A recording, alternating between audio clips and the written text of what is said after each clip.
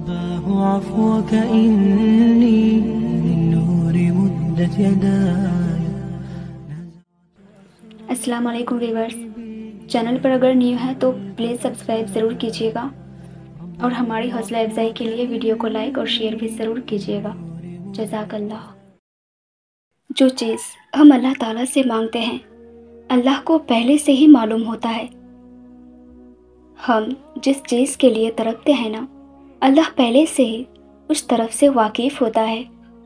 जब उसे सब पहले ही पता होता है तो वो हमें आजमाता क्यों है? जानते हो क्यों?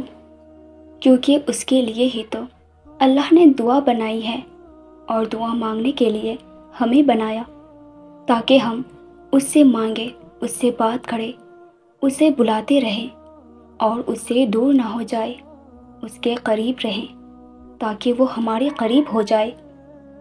हम उससे मांगे और हमारा उलझा जहन उस चीज़ से हट जाता है, जो हमारे लिए अच्छी नहीं होती।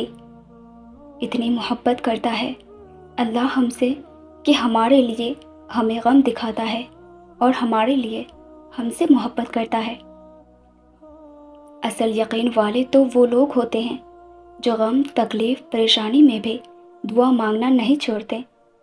लोग लाख कहे कि यह मुमकिन नहीं। तुम्हारे नसीब में नहीं, लेकिन वो फिर भी दुआ मांगना नहीं छोड़ते। जानते हो क्यों?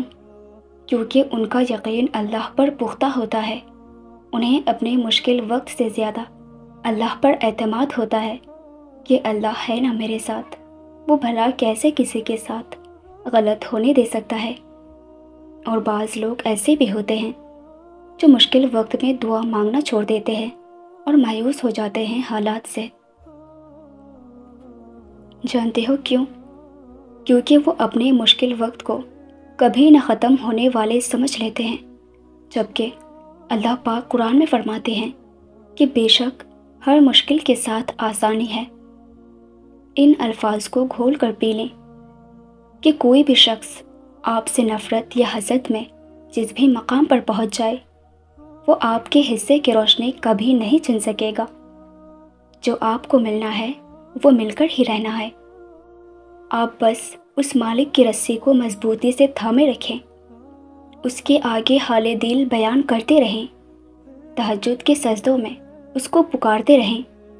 अपनी नीयत हमेशा अच्छी रखें। जानबूझकर उसके मखलूक का दिल आज़ारी का सबब ना बने और फिर देखें, राहें हिमवार होती चली जाएँगी और वो भी होगा जो अभी आपको ख्वाब लगता है।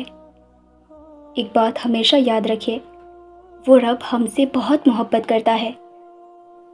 वो हमें वहाँ बचाता है, जहाँ कोई नहीं बचा सकता। वो वहाँ सुनता है, जहाँ हमें कोई नहीं सुनना चाहता। वहाँ अता करता है, जहाँ कोई अता नहीं कर सकता। और वो तब माफ़ करता है, जहाँ कोई माफ़ नहीं करता। वो हमें तब भी कबूल करता है, जब हम खुद को भी कबूल नहीं करते। उसकी मोहब्बत पर आँखें बंद करके यकीन रखिए, वो आपको किसी भी तूफ़ान में तनहा नहीं छोड़ेगा। वो आपको थाम ही लेगा। लोग अक्सर ये कहते हैं कि हमारा परेशान हो जाना इसलिए होता है कि हमारा ईमान कमज़ोर है।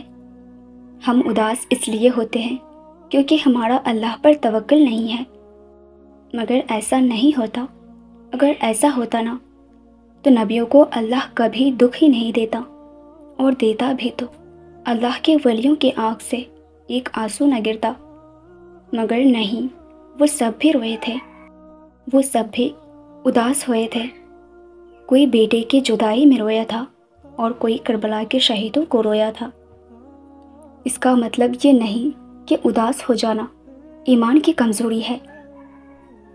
और ये इम्तिहान अल्लाह ताला हमारी उदासी का नहीं लेता, बल्कि हमारे तवक्ल का लेता है।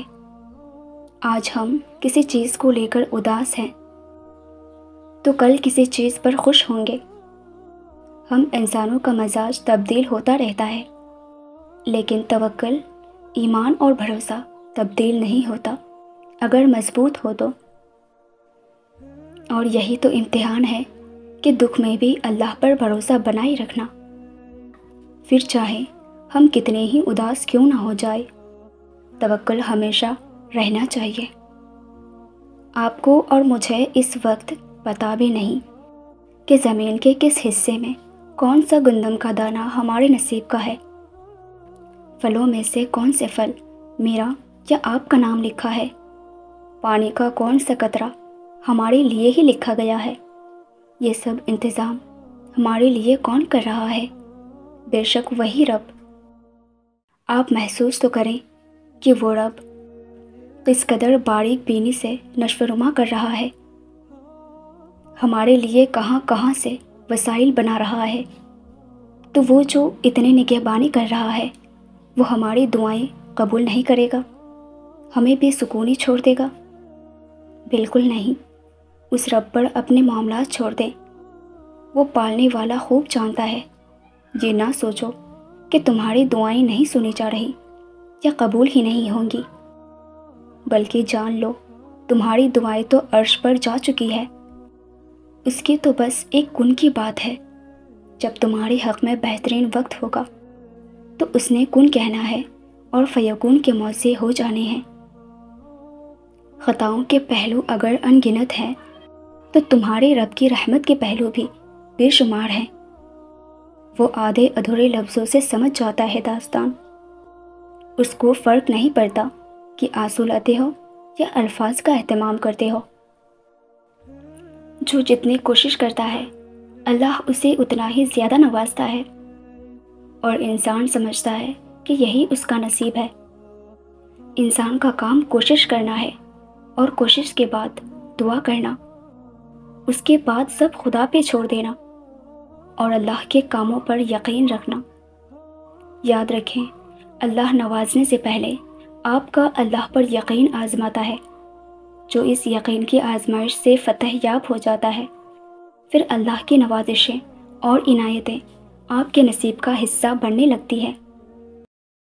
हम अक्सर अपने अल्लाह से फूल मांग रहे होते हैं और वो हमें नहीं देता, क्योंकि वो जानता है ये फूल हमारे लिए बहुत नुकसानदा है। और फिर, वक्त आने पर वो हमें फूलों का गुलदस्ता अता कर देता है। बेशक, मेरा अल्लाह बहुत मोहब्बत करने वाला है। ये जो अंधेरा है ना, वो रब इसको रोशनी बनाने पर कादिर है। और हर अंधेरा रोशनी लेकर आता है। हर तकलीफ़, रहमत का मरहम लेकर आती है। हर मुश्किल आसानी लाती है ज़िंदगी जामिद नहीं रहती अल्लाह आपको हमेशा शादो आबाद रखे आमीन वीवर्स वीडियो अच्छी लगी हो तो मुझे लाइक एंड कमेंट करके ज़रूर बताइएगा और इसी तरह की इस्लामिक मोटिवेशन के लिए हमारे चैनल को भी ज़रूर सब्सक्राइब कीजिएगा जजाकल्ला